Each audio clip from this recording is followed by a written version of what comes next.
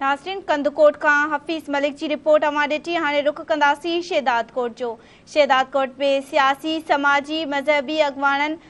शहर बदमी के खिलाफ अज बे ढी भी खोटो मोटो चौक से निटण समेत शामियाना लगाए धरण हो पेश है सदाम हुसैन सोलंगी की रिपोर्ट हा जी बिल्कुलु नाज़रीन हिन वक़्तु असीं शदातक कोट जे मसरूफ़ तरीन खोटू मोटू चौक ते मौजूदु आहियूं छाकाणि त अॼु सियासी समाजी ता तरफ़ां ॿिए ॾींहं बि एहतियाती मुज़ाहिरो कयो पियो वञे पुलिस जे ख़िलाफ़ु अचो त अॻुवाणनि सां ॻाल्हि ॿोल कयूं त संदसि उन हवाले सां छा चवणु आहे ॿियों ॾींहुं आहे असां वेठा आहियूं असां हिन जे लाइ वेठा आहियूं त शहर में तक़रीबन रोज़ाने जे बुनियाद ते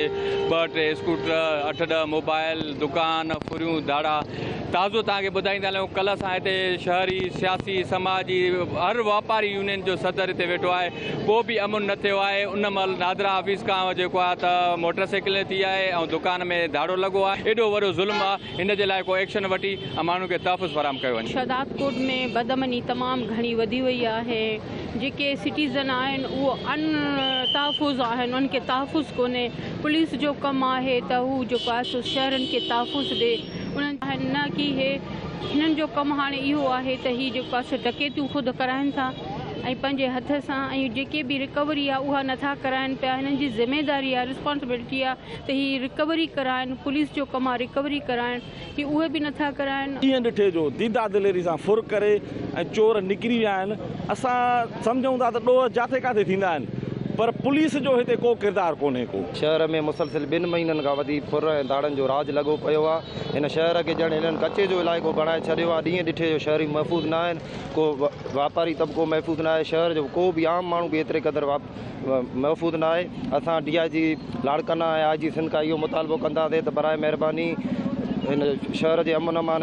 अमन अमान खे बहाल कयो वञे या कुझु बि आहे उहा अॼु फुर थियण खां बचाव जे लाइ असां वेठा आहियूं उन लाइ इंतिज़ामिया खे अपील आहे त असांजो तहफ़ुज़ कयो वञे शदाबकोट में अमन अमान जे हवाले सां ऑफिसर मुक़ररु कयो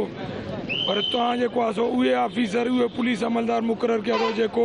पैसा मिलण जे कॾहिं जेके पैसा कमाइण जे कॾहिं हूंदा उहे अमून जो ख़्यालु क़तर न कंदा तव्हां महिरबानी कयो पंहिंजे ऐं असांजे शहर जे इज़त खे बचाइण लाइ फौरन इन करप्ट ऑफिसरनि खे हटाए करे तव्हां सुठा ऑफिसर हिते अरेंज कयो असांखे असांजो शहरनि जो बि तव्हां सां तावन रहंदो